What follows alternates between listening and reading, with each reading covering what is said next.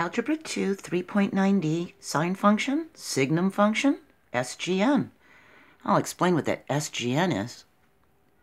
If you haven't seen the previous videos for Chapter 3, you might get confused. We're on the fourth video for this lesson. If you want to see 3.9a, b, or c, just click on this video's description and you can go right to them. Signum is the Latin word for sign. And a signum function, or sign function, it's the same thing, can be written as SGN with the x in parentheses, and we would say it's sign function of x. And it's defined as only three values. So you get a choice of one of three. The sign function of x is going to equal a negative 1 when the x is less than a 0. And the sign function of x is going to equal a 0 when x equals a 0. And it's going to equal a 1 if x is larger than 0. And this is for all values of x. So if you have uh, a sign function where x is a negative 24, well, that's less than 0. It's going to be a negative 1. If the sign function of x is 968, well, that's a lot bigger than 0. That's going to be a 1. So your choices are either negative 1, 0, or 1. That's it. Those are your choices. Well, what happens when we graph these is we end up with two rays.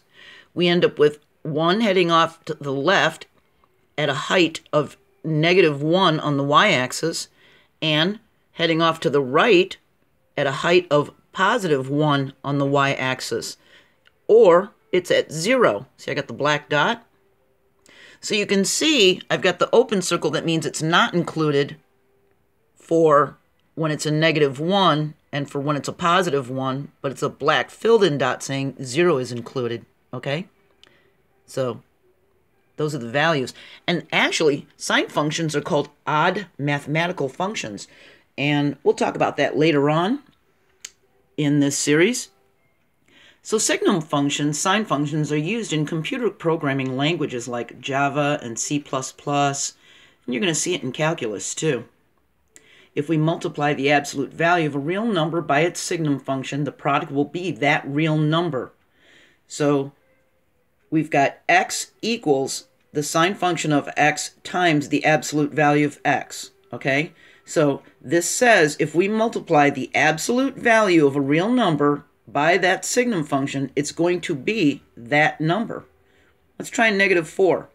Negative 4 equals the sign function of x is negative 4, the sign function of negative 4, times the absolute value of negative 4. Well, the absolute value of negative 4 is just 4, isn't it? And because this negative 4 is less than 0, the sign of negative 4 is going to be a negative 1. So we're going to say this negative 4 is equal to negative 1, because this whole thing equals negative 1, times 4. Yeah, it does. See how that worked out? Let's try it with a positive number. So here we've got x is the sign function of x times the absolute value of x, if we use a positive 5, well, this right here, this sign function of 5 is greater than 0, so we're going to have a positive 1 for this. When we multiply this positive 1 times the absolute value of 5, which is 5, we get 5. See how that happened? All right, let's keep going. x equals the sign function of x times this absolute value of x, all right, just like what we were doing before. What if x was a negative 3.47? Well, then the sign of this negative 3.47 times its absolute value, negative 3.47 is less than 0, so the sign of this is going to be a negative 1. Its only choices are negative 1, 0, or positive 1. And see how it took that negative sign and it gave it to the 1, well, negative 3.47 is going to be equal to that negative 1 times the absolute value of negative 3.47, which is 3.47. And yeah, they're equal to each other.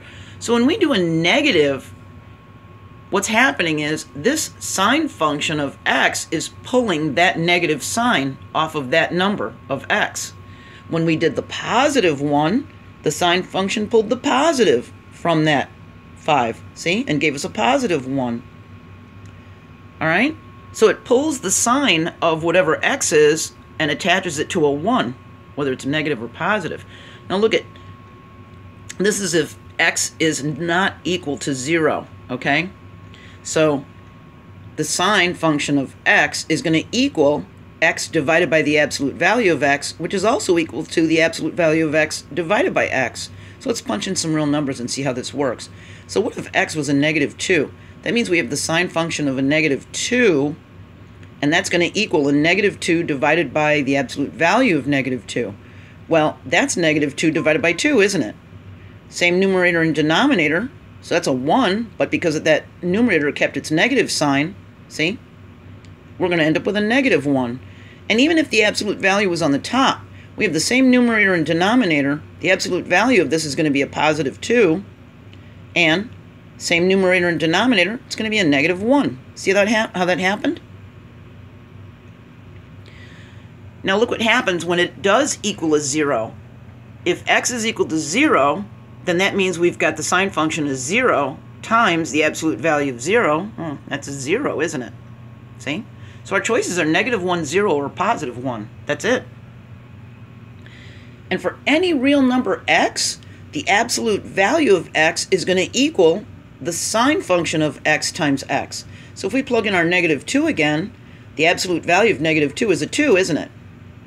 And the sign function of negative 2, well, negative 2 here is less than 0, isn't it? So we're going to get a negative 1 for this part, this will be equal to a negative 1.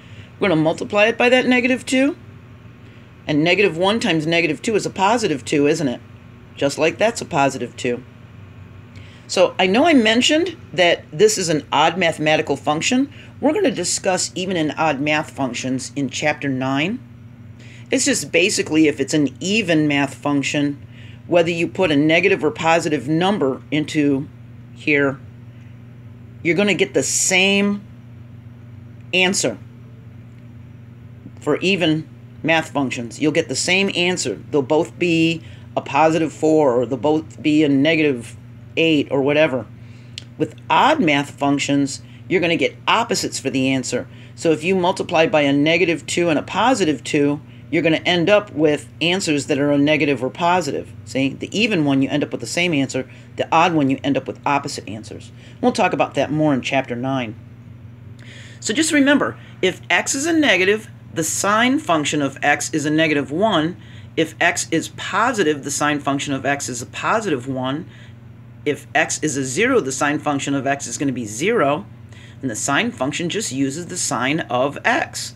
So if x is a negative, then you're going to have a negative 1. If x is a positive, you're going to have a positive 1, okay? Our next video is 3.10, and we're going to talk about a word problem strategy called making an organized list. Help you solve word problems. I'm going to add this video to the Algebra 2 playlist. They're all going to be in this description of this video, so you can just click on them. There's going to be links to the Algebra 1 playlists of Chapter 7 and Chapter 12. If you're really confused, you can go back to there and it'll help you. All right? So I hope you're having a really nice day. It's a beautiful day today. And keep your chin up, stay positive. Positive attitude can go a long way. Okay? It makes your brain open up for, for ideas. Okay? I think you can do this. I'll see you next video. Bye.